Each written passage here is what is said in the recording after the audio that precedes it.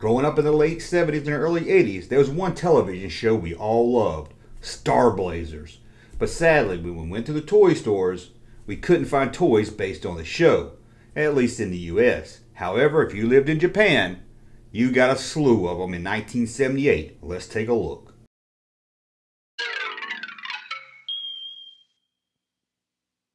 Welcome back to the Junk Room, everybody. It's me, the Junk Man, coming at you with a new video. Let's go back to 1979 when us kids got introduced to a whole new type of cartoon called Star Blazers. Of course, over in Japan it was called Battleship Yamato. Hope I said that right. It also went by another name, not even going to try to pronounce it because if you watch my channel, you know I can't pronounce a lot of stuff. So for this video, I'm always going to refer to it as Star Blazers. But for this video, I'm going to keep calling it Star Blazers. It was released in the US in 1979 and this was our introduction, or most of us introduction to Japanese animation cartoons. Sure, maybe you had the Speed Racer before that or around the same time, but this really introduced us to the world of anime. And this was unlike any cartoon we had at the time, as it was a continuing storyline. Sure, our parents watched Young and the Restless, As the World Turns, got in like soap operas, so we were used to that. But this was like our soap we had a continuing storyline of having to defend Mother Earth. We're off to outer space. We're leaving Mother Earth to save the human race. Our Star Blazers. Unlike any other cartoon at that time, at least that I can think of, you didn't have to watch every episode. Even with something like He-Man a few years later, you could just pop it on at any time. They might have been an overall story theme, but it wasn't an overall story arch. But with Star Blazers, you had that arch. Fighting with the Gamilons, we won't stop until we've won. Then we'll return, and when we arrive, the Earth will survive with our Star Blazers. And sadly, as a kid, at least in the US, we didn't have any toys based on the show. And that kind of bummed us out. I mean, we had a lot of Star Wars toys, but kids really into this cartoon, you couldn't really show your love for it. Not only was there no toys, there was no t-shirts, no posters.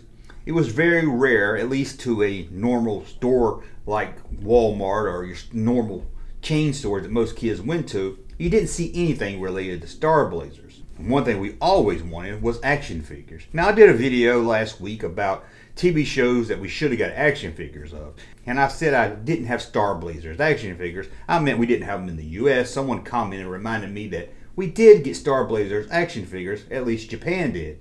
And that set off a memory that I forgot all about. I remember seeing some of these at a toy show back in the mid 90s, being in shock that they were Star Blazers. At first, I thought maybe they were custom figures, but then to find out they got released. But you don't really hear much about the Star Blazers toys. Now, before we look at the action figures from the line, let's look at some other things that did get released in 1978. Because they was more than just figures. There was models, diecast ships, a lot of stuff. But we're not going to look at everything. We're just going to look at a few and then dig into the action figures.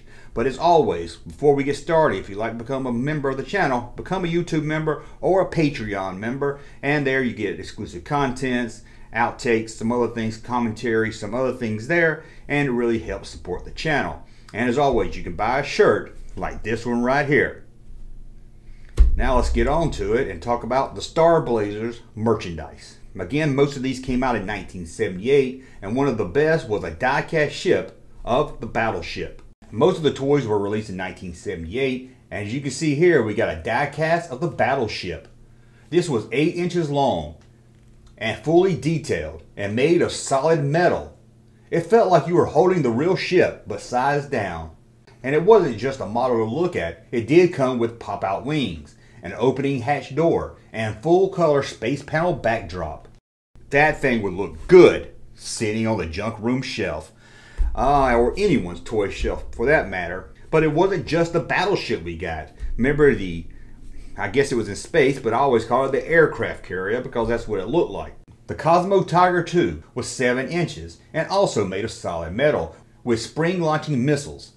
They didn't care anything about choking the kid with a missile. Either that or kids in Japan were smart enough to know You don't put a missile in your mouth and hit a firing button. But what about kids that wanted more of a live action play? They didn't want to just play with the toys or have a model sitting on a desk. They wanted to act like their favorite Star Blazer. For them, they had the Cosmo gun, also released in 1978. This gun would light up and buzz, but it also came with a free pin of the battleship. So we got the diecast ships, we got the gun so you can play it around the house, but what kids really wanted in 1978 was action figures. Star Blazers action figures. And if you're a little kid in Japan, you got one. I'm so jealous. Now these were soft vinyl, but they did have moving joints at the arm and at the waist. So let's take a look at them. Although these are more of a rubber soft vinyl figure and not a plastic action figure, they still look amazing. There were five figures. There was Wildstar, Venture.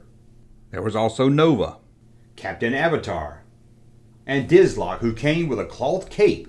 The figures were just under 4 inches tall, making them about the same size as the Star Wars action figures. And again, they did have movable joints in the arms and the waist. Around this same time, they also released Analyzer, a wind-up toy of the droid from the show, or robot, or whatever they called it. And this was about the same size as the wind-up, although not officially part of the same figure line, it fits right in with them.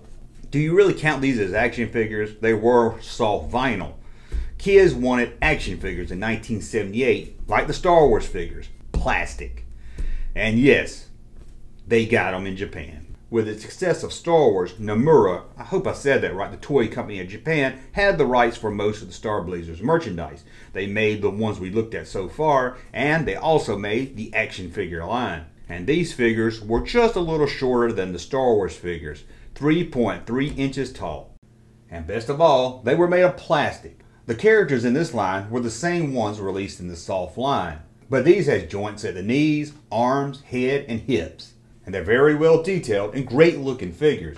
Each one came sold in its own little case, making it look great for collectors who don't even want to open the figure. But when it comes to action figures, they need a home. They need something to play in. They need a playset. Don't worry, yeah, there was a Star Blazers playset of the Battleship Bridge. The Yamato Bridge playset. By looking at the photos, you might think it's just plastic backdrop, something to stand your figures on. Well, there's more than meets the eye. It comes with movable seats, a light-up control panel, interchangeable backdrops, and sound effects to let your action figures yell out, video panel switch on, Yamato launch, and six other phrases.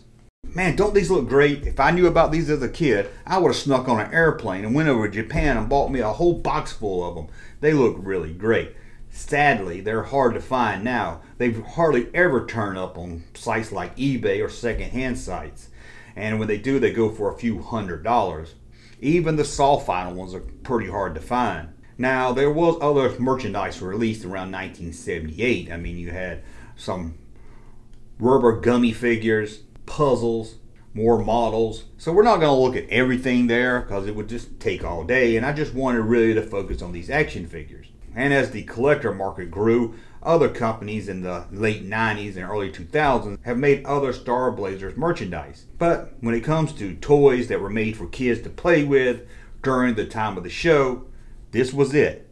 1978, the action figure line. Two different action figure lines. And while researching this video, I found a badass jacket on eBay that I think would look really good if I wore it in every video. Check it out.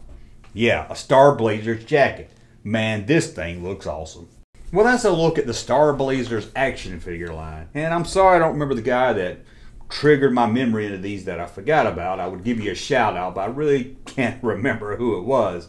So, sorry about that. But thanks for making me remember something I forgot all about. So, what did you think about these figures? Were you a fan of Star Blazers? If so, would you have loved these action figures? I know I would have. Let me know all about it more in the comments below. And as always, thumb up so I know you like my content. Subscribe to the channel, and we'll be back again soon. Hey, jump that channel popping though. Thank you, sir, for that unsolicited testimony.